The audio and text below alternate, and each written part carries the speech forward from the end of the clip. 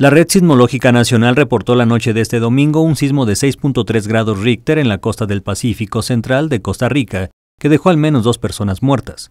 El sismo tuvo su epicentro en el Océano Pacífico con una profundidad de 19 kilómetros y se produjo por la subducción de las placas terrestres. Luego del sismo se produjeron por lo menos seis réplicas de magnitudes que fueron de los 3.1 a 5.2 grados en la escala de Richter. Al menos dos personas murieron en Jacó, la localidad más cercana al epicentro según un portavoz de Fuerza Pública. El sismo ocurrido a las 20:28 horas tiempo local se sintió prácticamente en todo Costa Rica y estuvo originado por la subducción de las placas terrestres, es decir, el hundimiento de una de ellas bajo otra.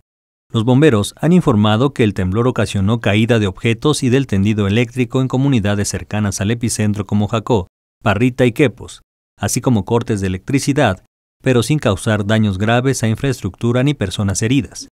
Las autoridades costarricenses llamaron a la calma a la población, a la que pidieron tomar medidas preventivas y utilizar los números de emergencia solo para casos verdaderamente urgentes. Notimex.